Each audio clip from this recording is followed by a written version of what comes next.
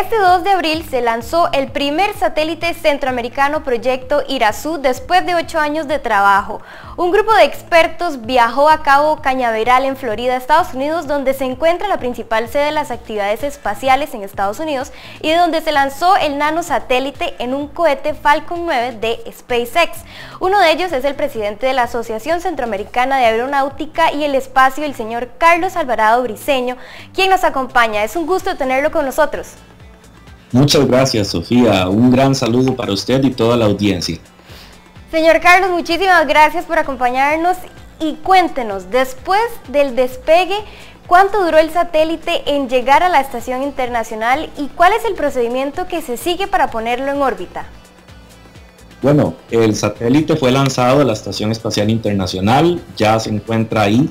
El mismo va a ser eh, utilizado en el momento y puesto en órbita por parte de los astronautas que se encuentran actualmente en la Estación Espacial Internacional en las próximas semanas. Eh, todavía no tenemos una fecha exacta en la cual este, este dispositivo va a ser puesto en órbita una vez que eh, eso sea comunicado justamente por eh, nuestros socios de la agencia espacial japonesa, JAXA, que son los, los, el punto de contacto nuestro eh, a través, digamos, de la Estación Espacial Internacional, vamos a poderlo anunciar.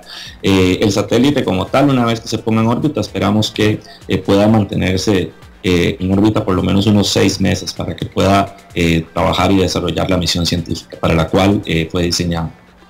Bueno, entonces una vez ya puesto en órbita, empieza la etapa de recolección de datos. El objetivo de crear este nanosatélite era para recopilar información sobre la fijación de carbono, crecimiento forestal y otros efectos del cambio climático en Costa Rica. Entonces, hablemos un poquito de la tecnología que lleva el satélite. ¿Cómo hace las mediciones?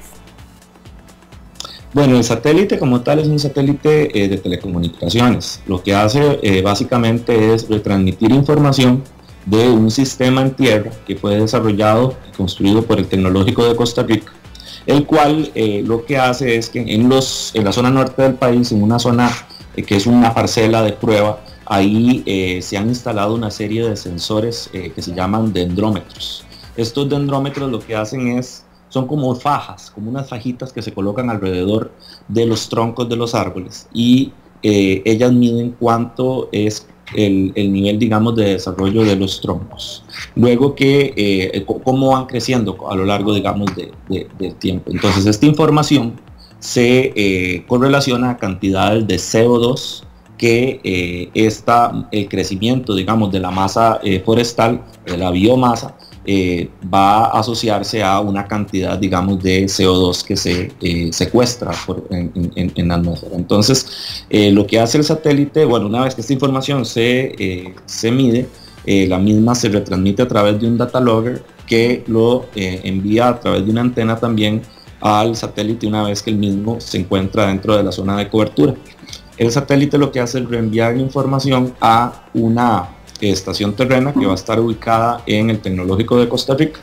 Y esta estación eh, lo que hace es recibir toda la, información para que pueda ser utilizada eh, por parte de los eh, científicos del tecnológico para realizar sus estudios en el tema.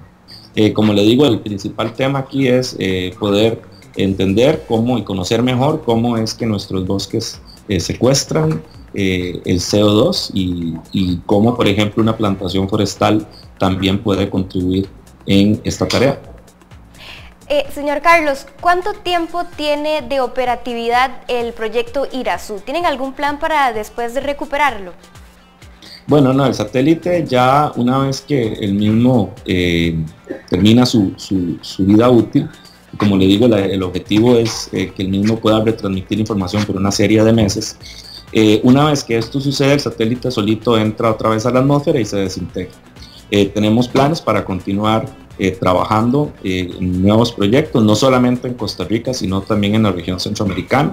Y es importante seguir apoyando todo este tipo de esfuerzos. Ahora conversemos un poco sobre cómo es ser parte de este proyecto, los obstáculos que tuvieron que enfrentar. Por ejemplo, recaudar fondos, diseñarlo, una vez diseñado, ponerlo a prueba. Sabemos que fueron a Japón para hacerle pruebas. ¿Cómo fue ese proceso? Sí, correcto. Bueno, esto ha sido un largo camino. este proyecto eh, fue anunciado por parte de, la, de de la Asociación Centroamericana de Aeronáutica y del Espacio, hace eh, ya ocho años aproximadamente. Nosotros empezamos con esta idea en el año 2010, inclusive desde el año 2009 empezamos a organizar la asociación, pero en el año 2010 fue cuando anunciamos oficialmente ya la idea del proyecto. Y bueno, ha contado con la inclusión de una serie de socios estratégicos que han sido muy importantes a lo largo del camino. Eh, uno de ellos, bueno, por supuesto, es el Tecnológico de Costa Rica, que en el año 2013 nos ayudó muchísimo.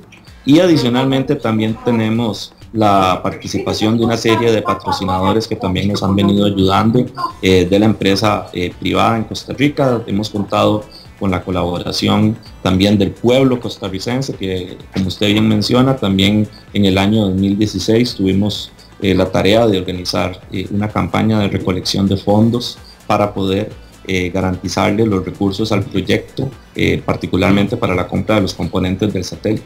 Y bueno, esta campaña contó con la participación también de, todo el pueblo de Costa Rica, de medios de comunicación y, e inclusive de personas en el extranjero que también se sumaron a la idea.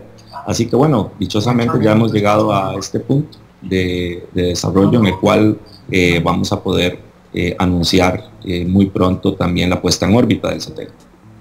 Y señor Carlos, ¿existe otra iniciativa en otro país centroamericano sobre más satélites, por ejemplo en El Salvador y Guatemala, que son países muy capacitados y que tras el logro en Costa Rica se han generado expectativas? Correcto, esto es muy importante y hay que seguirlo apoyando. En Guatemala, por ejemplo, ya han trabajado eh, la propuesta también de su primer satélite, ahí particularmente está la Universidad del Valle y otra serie, digamos, de, actores estratégicos que también se están organizando y tienen eh, un, proyecto muy interesante eh, que también cuenta ahora con inclusive apoyo de Naciones Unidas. Ahí eh, creo que eso es algo también de reconocer y que tenemos que apoyar también como región centroamericana. De igual manera en El Salvador, eh, la organización ESAI ha venido también eh, impulsando la idea de construir un satélite en El Salvador, un satélite salvadoreño y ojalá que podamos también incluir a más países, Honduras, Nicaragua, Panamá, todos los que se encuentran dentro de la región y que se involucren en este nuevo paradigma de desarrollo tecnológico. Muchísimas gracias. Antes de despedirme, me quiero felicitarlos a todos, a todos los miembros del equipo por este logro tan importante que ha tenido no solo la, la comunidad científica, sino que la región y Costa Rica. De verdad que muchas felicidades. Muchísimas gracias, Sofía. Y como le decía, este es un proyecto país, es un proyecto eh, no solo, digamos, de, una asociación o de una organización, ha sido un proyecto eh, que lo hemos manejado como un proyecto país, pero también eh, quiero que eh, eh, aprovechemos la oportunidad para hacer un llamado a toda la región centroamericana para que también entre todos nos apropiemos de este tema y, nos, empecemos a trabajar coordinadamente cada vez más en un ambiente de cooperación y desarrollo de capacidades, porque la región centroamericana tiene mucho potencial en este tema, aprovechando las ventajas comparativas inclusive que tenemos con respecto al resto del mundo por nuestra ubicación geográfica. Así que ojalá que muy pronto en Costa Rica y en el resto de Centroamérica también podamos eh, decir que somos una potencia eh, global en el tema espacial como una, como una región que brinde servicios eh, de alto nivel, sofisticados a las cadenas de valor globales de esta industria. Muchísimas gracias. Conversábamos con el presidente de la Asociación Centroamericana de Aeronáutica y el espacio, el señor Carlos Alvarado. Vamos a una pausa, pero ya venimos con más información.